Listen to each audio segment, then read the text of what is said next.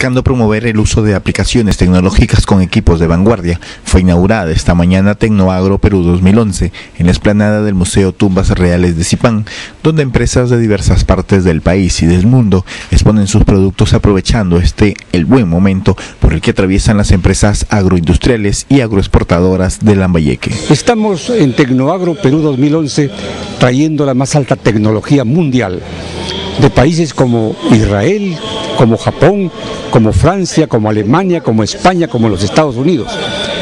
Y queremos que esas tecnologías sean aprovechadas por nuestros agricultores lambayecanos.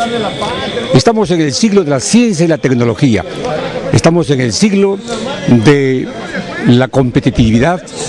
Estamos en el siglo en que debemos innovar y buscar la inocuidad alimentaria pero poniendo en uso las nuevas prácticas, las buenas prácticas agrícolas.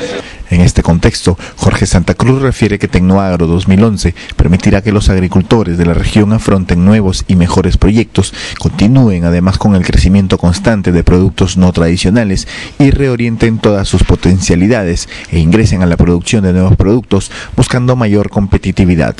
Acá en Lambayeque, por tradición, el arroz es el principal cultivo. Pero, ¿qué sucede? El riego por gravedad y por inundación del arroz, que significa un consumo excesivo del agua, da lugar a que se salinice las tierras, y eso es irreversible.